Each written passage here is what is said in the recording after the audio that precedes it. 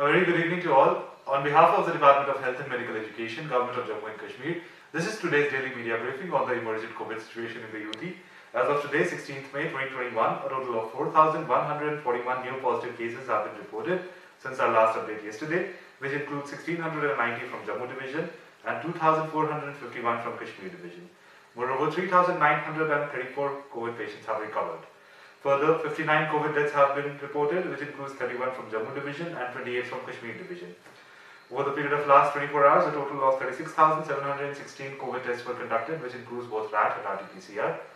With regards to bed occupancy against availability of 5,400 level 1 and level 2 beds, 3,334 are occupied. Citizens are also informed that they can check the live bed availability status on www.covidrelief.jk.gov.in. Uh, with regards to oxygen availability over the period of next 24 hours, a total of 1,14,176 cubic meters of oxygen shall be made available. With regards to vaccination drive, a total of 9,144 people were vaccinated today, which brings the total number of people cumulatively vaccinated till now across the UT to 28,14,272. In the 45 years and above age group, 61.52% people have been vaccinated.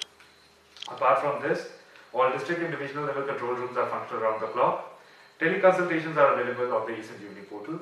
Citizens can also ask their COVID uh, queries on the live call-in program Cove Talk on Gulistan channel at 8 to 9 a.m. in the morning and 8.30 to 9.30 p.m. in the evening. And Doctors Speak on DD Kashir from 8.30 to 9 in the morning and 7.30 to 8 in the evening.